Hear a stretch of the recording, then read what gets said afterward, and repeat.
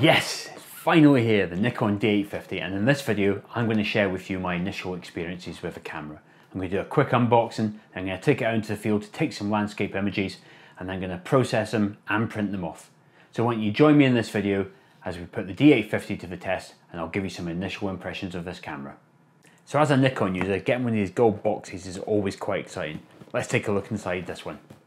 Right, let's get this box open see what's inside. Right. Well, we've got a user manual and warranty. I will actually read the user manual at some point. There's bound to be something useful in there. And obviously need to register the warranty. Power cable, handy for charging batteries, obviously. European cable, won't need that.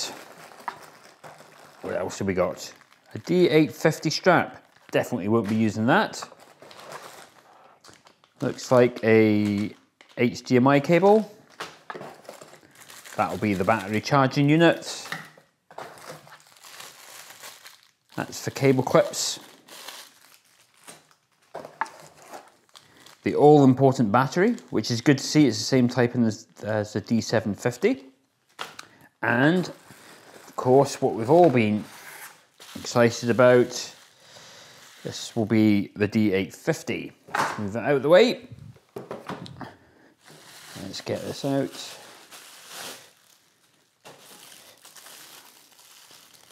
With SnapBridge technology, this will be the first camera that I've used with SnapBridge.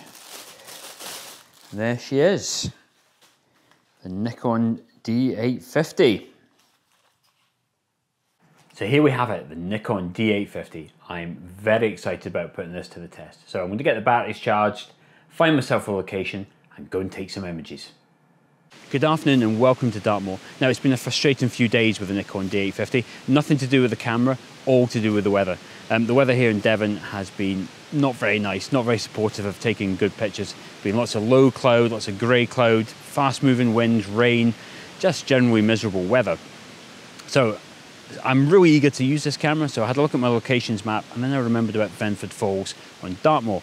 Now, even though it's on Dartmoor, which is obviously very exposed, Venford Falls is down a nice little valley surrounded by trees, so it's kind of protected a little bit from the, the bad weather, and it's also a very pretty location.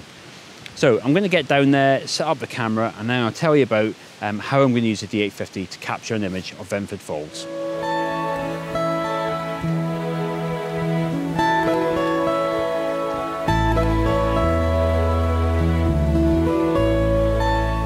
So let me tell you about a couple of the D850 features that I'm going to put to use today. The first one is SnapBridge.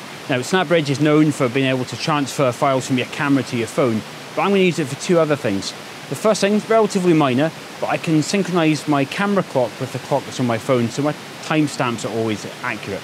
But the one that's slightly more important to me is the ability to take the GPS data from my phone and directly add it into the EXIF information of each of the photographs I'm taking. So that means when I import it back to Lightroom, they'll all be stamped with the exact location that I took the picture. The other feature that I'm looking forward to using is um, the lower base ISO of just 64. Now on the D750 that was 100, but on the D850 it's 64. So hopefully I should see some uh, better results when it comes to dynamic range. One of the other things that I'm looking forward to improving with the D850 is my long exposure workflow.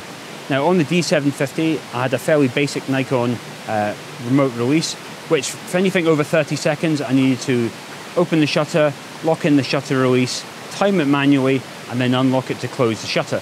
On the D850 I can leverage uh, one of Nikon's more advanced um, remote shutters, so that allows me to actually dial in the exposure time, open the shutter, the timer will run and then it will automatically close for me. Just a small one and not necessarily specific for the D850, but coming from the D750, this is a big advantage for me.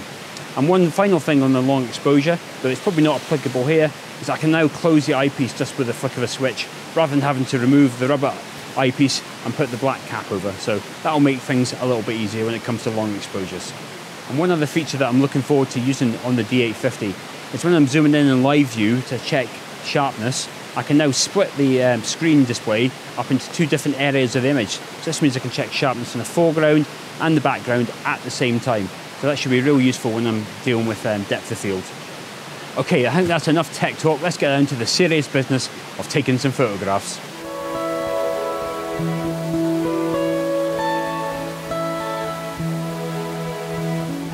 So I've taken a few images now with the Nikon D850. It feels great to have finally pressed the shutter button in a real world environment. Uh, just having a look through my images, nice to have the touch screen so you can flip through the images nice and quickly, so that's, that's a real bonus. So for those who are interested in how I've got the camera set up, um, I've got my 16 to 35 f4 lens on at about 24 millimeters. Um, it's at f13. I've also got my Lee filters polarizer on. This is just to take some of the glare off the water. And at ISO 64, this gives me an exposure time of about 13 seconds. So there's not much more to tell you about the technical aspects of the camera now. I think I'm just going to have some fun and take some more images.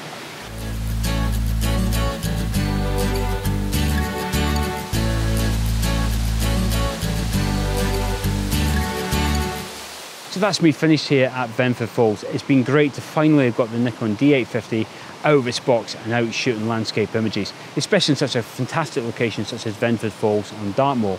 But I'm going to go home now, I'm going to process the images and print them off. So I'll see you in just a minute. Okay, as you can see, I'm back home now and I'm ready to start working on those images. So let's start off and talk about image processing. How am I going to get those images into Lightroom? Well, normally that would just be a matter of sticking the card in and clicking on import. But because I'm an early adopter of the D850, Adobe Lightroom hasn't been updated yet to provide native support for the D850 RAW files. So that leaves me with two options. I can use Adobe's DNG converter and convert them from the native Nikon RAW format into their DNG format and then I can import those straight into Lightroom. Or because Adobe Camera Raw module has been updated, and that means I can actually work with the RAW files natively in Photoshop. Now I'm not a big Photoshop person, I'm much more comfortable using Lightroom, so I'm going to go with the DNG converter option and that's quite easy to use. I just point it at the folder of images and it does a big batch conversion. It gives me a bunch of DNG files at the end and I just import those into Lightroom.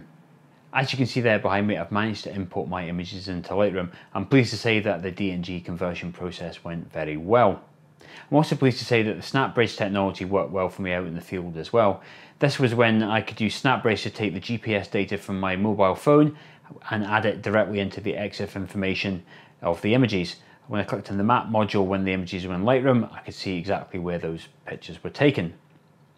So I'm going to process the images now I'm not going to do anything too exotic. It'll be shadows, highlights, exposure, sharpness, contrast, that kind of stuff.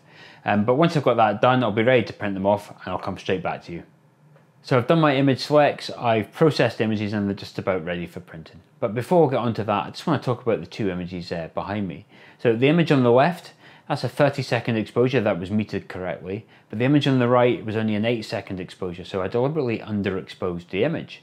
Now the reason I did that is because I wanted to see um, later on in post how far I could bring back the shadow detail from an underexposed image. And I'm pleased to say that now that I've got both images processed exactly the same, I couldn't detect any loss of quality in the shadow areas on the underexposed image. So seems to be quite a bit of leeway in the dynamic range in this camera, which is very promising for low light photography.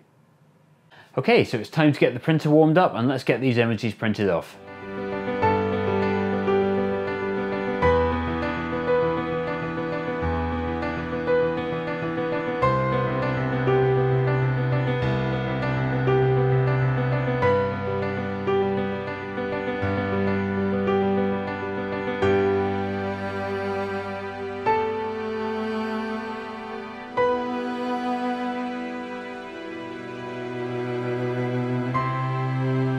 So I've got my images printed off and I'm really happy with the results. I think the D850 has done an excellent job of capturing Venford Falls. Now Venford Falls is quite a tricky place to shoot, not so much from a compositional point of view, um, but it doesn't get a lot of light, so it's quite dark, there's a lot of shadow areas in the images, but the dynamic range of the D850 has really been put to the test, but yet I've still managed to pull a lot of that detail out. So you probably can't see it so much in the print, but you can certainly see it uh, when you're looking at it on the computer.